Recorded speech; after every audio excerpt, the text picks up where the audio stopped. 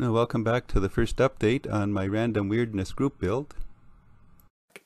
I'm about to begin this Pegasus Hobbies kit, the Alpha Centauri UFOs. There's two short-range saucers, come with two little alien figures.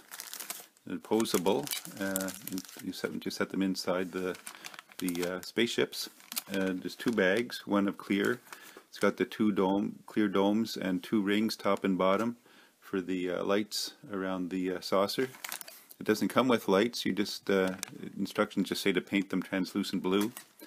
We'll look into that. I don't think i am not into wiring lights, so I won't be doing that. And one bag of opaque parts.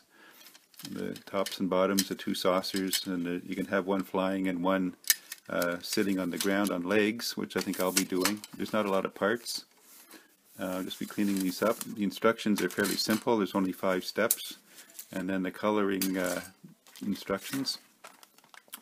You put the interior together, but it does say to uh, to paint the interior panels prior to assembly.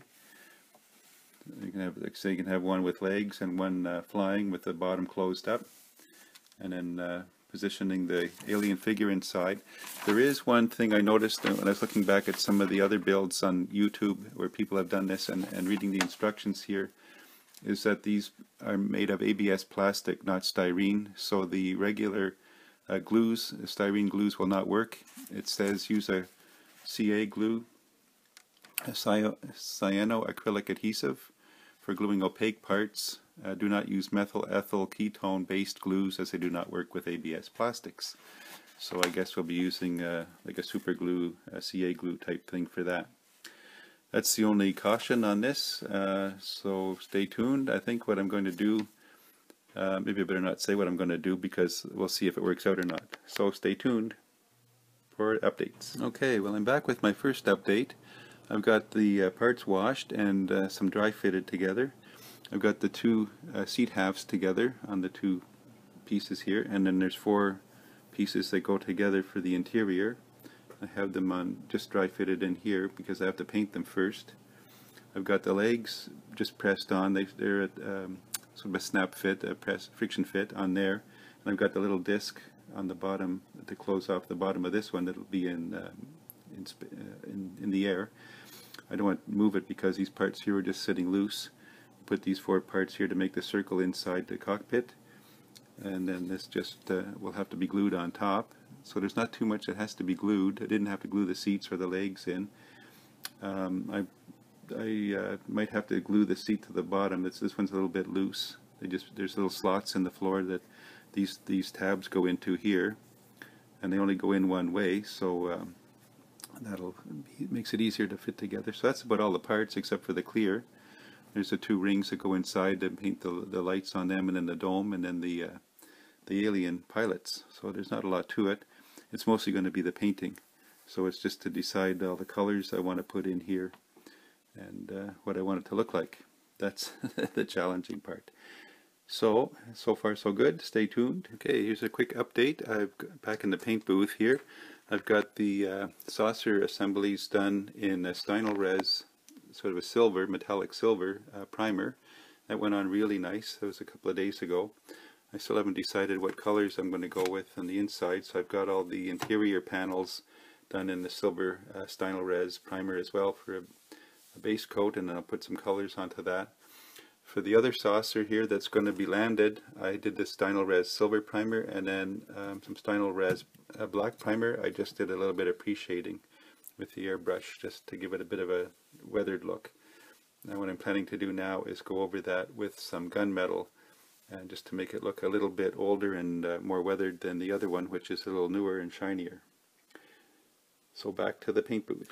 So now I've started painting the interior and the details and what I've started is with the uh, Stynylrez black primer just brushed it on some of the components here as a base and then I've got the uh, Craftsmart King's Gold and some uh, metallic green and metallic paint so I just brushed those on with a fine brush over the black and I'm going to have to do these ones here maybe in copper and, and different colors but I thought for the uh, instrument panel I started that again with the black primer and some of the green on the gauges there. And then over the black primer, I've gone over that with the gold and uh, the green. I think that looks kind of alien looking. I'll do some more colors on the knobs. It looks like two uh, roller balls here for his hands and some buttons there. So uh, lots of poking around here, but I'm enjoying this part of the work and uh, trying to decide what colors to come up with. Okay, well I've chosen some colors for the interior. I did a gold uh, over black on the main console here with a bit of uh, green, bright green in here in the panels and the like a radar type screen. Just uh, Sharpie markers on the buttons here. I did a metallic purple wash over the panels. A copper on here and a, and a red uh, metallic on here. Same on the other side. Just changed up the few of the buttons a little bit. Got the panels and things done here. Mm. Okay, well I made a little bit more progress. I've got the seats painted. I've airbrushed on some of this Folk Art charcoal black. I don't think it'll show up on the camera, but uh, it's got a bit of a gold flake to it. I was hoping that would be evident. You can sort of see it in person a little bit on, on there. I'll maybe try and put a picture in. I'm thinking of doing the insert. I had that taped off. I'm thinking of doing that green. You can see chromate green or lime green. The two seats are done the same. I've done the landing saucer. I wanted to do a little darker than the flying saucer. Um, so I've done that with some gunmetal. I've airbrushed gunmetal over that. I had it a bit pre-shaded, as you saw previously, with just some black uh, craft paint. And I've gone over with the Tamiya panel line black, uh, just to fill in the, the slots and, and give it a bit of uh, age and, and weathering on, on the uh, legs and that, just to bring out the details. Um, stay tuned, we'll see what uh, I come up with next. Okay, I made my decision. I went with the Craft Smart, um, sorry, Folk Art Lime Green craft paint for the seat inserts. And uh, this is the story that I'm going with. One, one saucer has landed, uh, is having engine trouble or somebody can't get going again. It's been around for a while, that's why everything's a little bit darker, a little bit dirtier. I've done the interior floor, uh, brushed on with uh, burnt orange, and then a little dry brush of uh, brick red to darken that up a little bit. And it's been around longer, it's gotten a little bit worn and dirty.